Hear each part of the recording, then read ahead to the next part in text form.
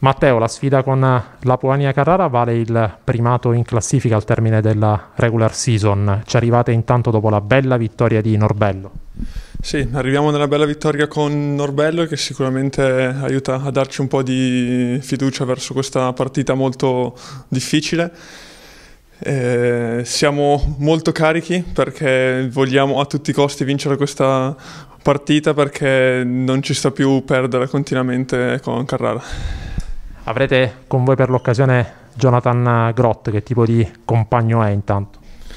È un compagno molto bravo, è un bravissimo ragazzo, molto umile e in panchina aiuta molto, quindi sono veramente contento di averlo in squadra.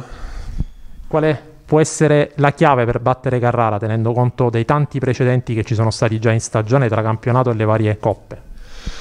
Sicuramente dov- dovremmo cercare di azzeccare una formazione buona per noi e, e, dare tutto perché sulla carta loro sono leggermente più forti, poi arrivano anche da una buona vittoria dell'TTU Cup, quindi non sarà per niente facile, però dovremo cercare di dare tutto e avere magari anche un pizzico di fortuna.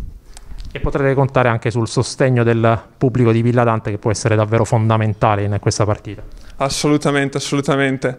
Quando c'è il pubblico a Villa Dante si sente e ci dà molta carica. Ecco, in questo periodo avete rivolto sempre un pensiero costante all'Ucraina, anche ovviamente per la presenza di un compagno come Jaroslav Smudenko. Avete tenuto eh, sempre con voi la bandiera eh, giallo-blu del, dell'Ucraina nelle scorse partite.